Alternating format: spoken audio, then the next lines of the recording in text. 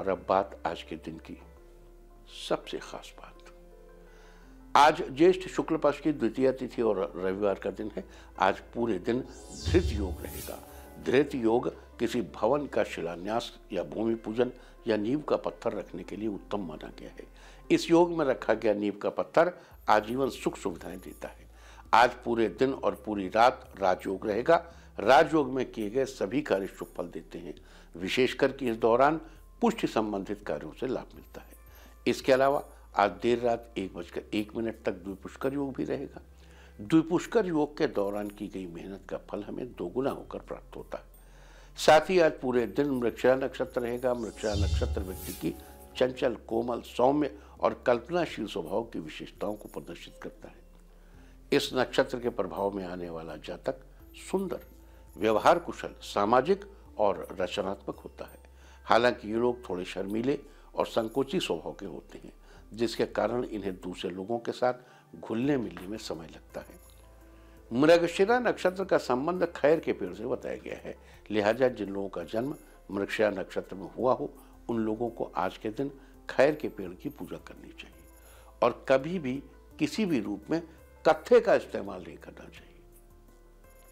तो ये थी चर्चा आज धृत योग राजयोग द्विपुष्कर योग और मृगशिरा नक्षत्र की। और अब बात करते हैं आज के दिन के मुख्य ग्रह परिवर्तन। यानी आज के, के दिन की का जो मुख्य चर्चा है वो है ग्रह परिवर्तन बुध के मिथुन राशि में प्रवेश की। आज रात ग्यारह बजकर चौवन मिनट पर बुध मिथुन राशि में प्रवेश करेंगे और एक अगस्त की देर रात तीन बजकर बत्तीस मिनट तक यहीं पर गोचर करेंगे। उसके बाद कर्क राशि में प्रवेश कर जाएँगे। बुध मिथुन और कन्या राशि के स्वामी हैं। ये बुद्धि और वाणी के देवता हैं। लिहाजा इनका सीधा प्रभाव दिमागी रूप से मेहनत करने वाले कामों पर पड़ता है। और दिमाग तो सबके पास है, जबकि शरीर में मुख्य रूप से गले और कंधों पर बुध का प्रभाव रहता है। तो बुध के इस गोचर का विभिन्न राशियों पर क्या प्रभाव होगा? बुध इस समय आपकी जन्म पत्रिका में किस स्थान पर गोचर कर रहे हैं? साथ ही बुध की शुभाशुभ स्थिति में आपको क्या उपाय करने चाहिए? इनका कोरोना से क्या संबंध है?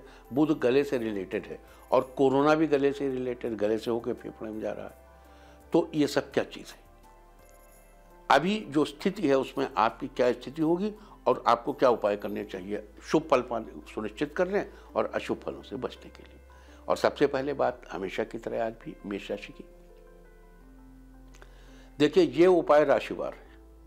इसमें एक राशि का उपाय दूसरी राशि में नहीं चलेगा।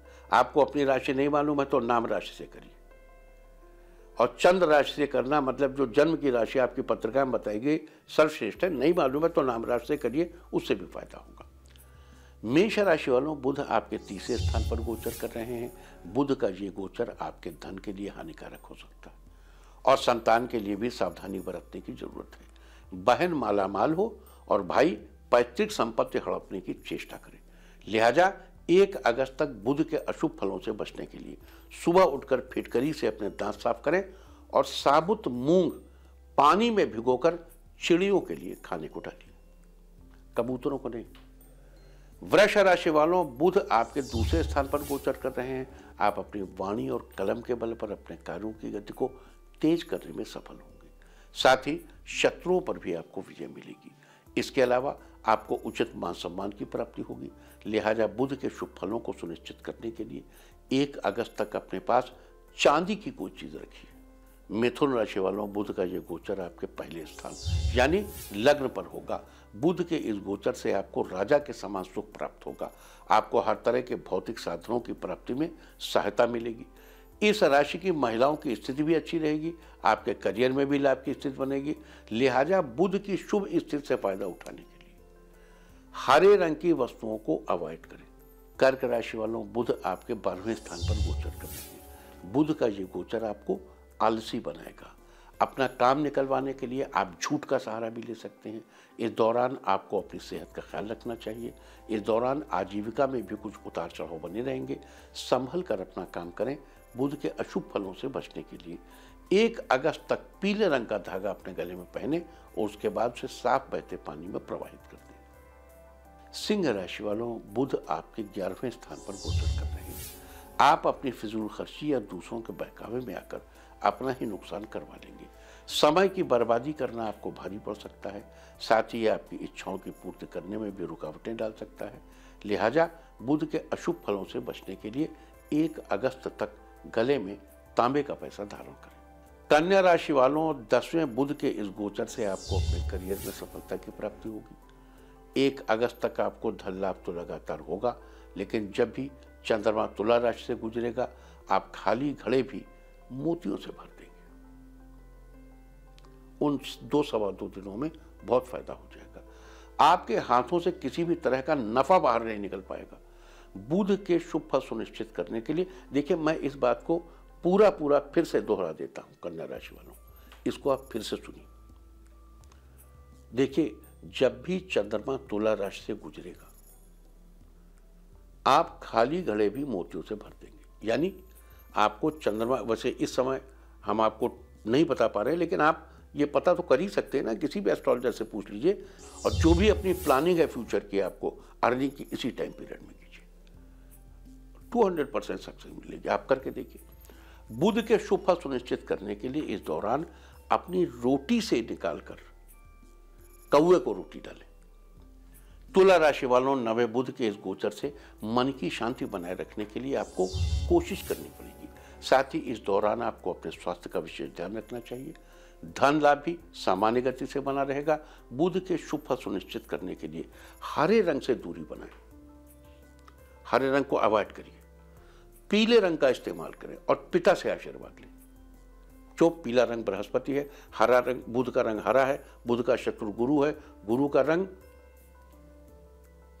पीला है। वृश्चिक राशि वालों, आठवें बुध के इस गोचर से अगर आपको स्वास्थ्य अच्छा रखना है तो आपको अपने खान पान और नियमित व्यायाम का ध्यान ज़रूर रखना चाहिए।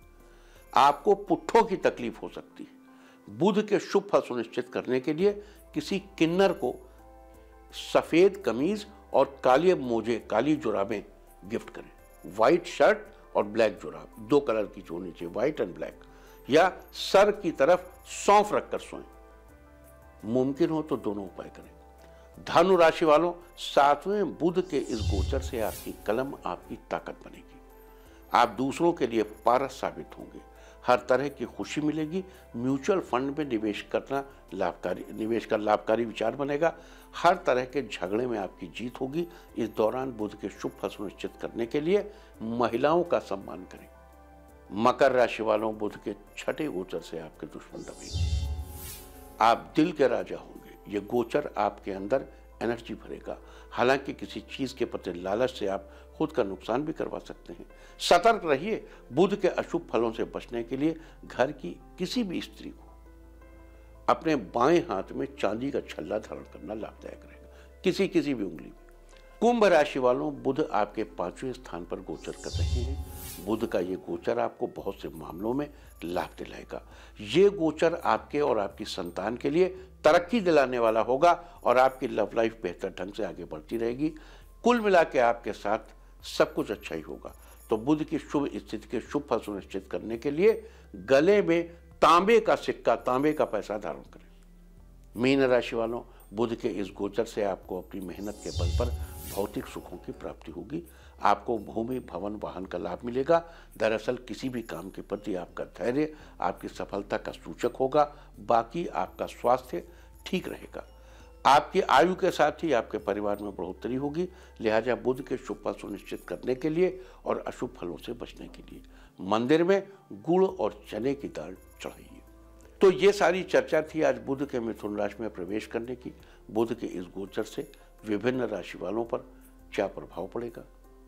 और उस स्थिति में शुभ फल सुनिश्चित करने के लिए, और अगर उसका प्रभाव अशुभ है तो अशुभ फलों से बचने के लिए आपको क्या उपाय करने चाहिए?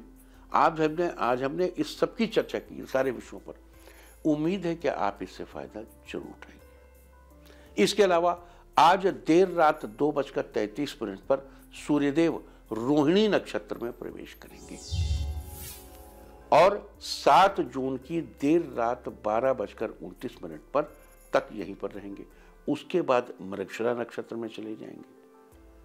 उसके बाद आर्द्रा, जब आर्द्रा में जाएँगे, तब बाँस लगाया जाता है उस पीरियड में। साथ ही आज के दिन चंद्र दर्शन करने का भी विधान है।